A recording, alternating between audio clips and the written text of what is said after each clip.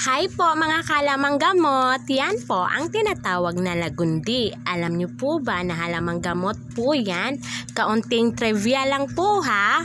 Ang lagundi leaves ay kilala bilang halamang gamot na nakakagamot ng ilang uri ng karamdaman. Ito ay mabisang panglaban sa ubot, sipon, trangkaso at hika. Bukod dito ay marami pang natuklasan ang mga eksperto sa halamang gamot na ito. Nakakagamot din ang bulaklak at buto, maging ang ugat nito, kaya wala ka talagang maitatapon sa halamang gamot na ito.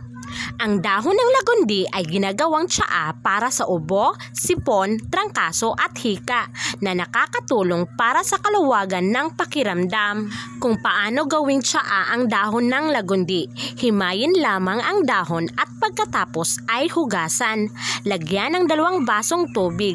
Ilaga ang dahon at pakuluan lamang ng 5 minutes. Pagkatapos po ay uminom ng kalahating tasa ng tatlong beses sa isang araw. Ang halamang gamot na ito ay napatunayan na epektibo at ligtas. Ito ay madalas na ginagamit as a home remedy.